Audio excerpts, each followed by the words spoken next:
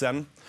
Expressen betalade 140 000 kronor för stillbilder på Zlatan och hans flickvän Helena när de gick med, med barnvagnen.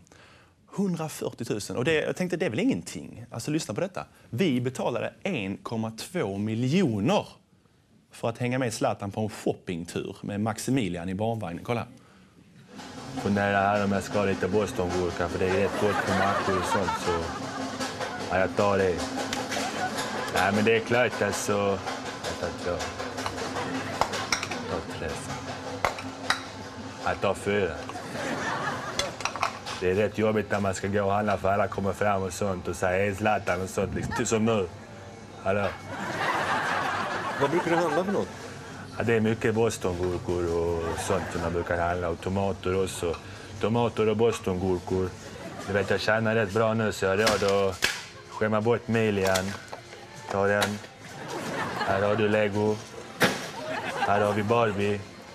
Lite bögigt, men vad fan, det är ska det, så det är inga problem. Jag bjuder på mig, skämmer bort honom. Allt som inte jag fick när jag var liten. Stenkulor. Jag kanske ska ta en sån här ändå. Är det till din flickvän Helena? Ja, jag tänkte med till, eh, till Lars Lagerbäck, min tränare. Jag menar, eh, han beter ju sig som en hora så då får han klä sig som en också tycker jag. Det är snart landslagsmatch. Hur laddar du inför den?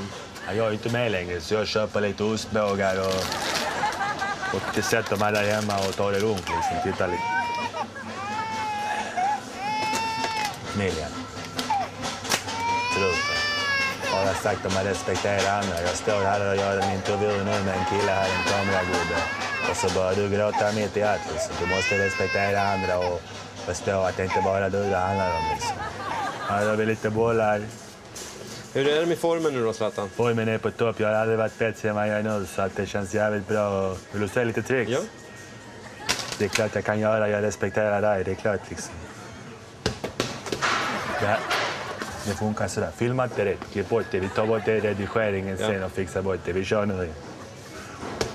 Va? Fan också, missade missar hela jävla tiden. Ja, han gillar bostongurkor. Eh,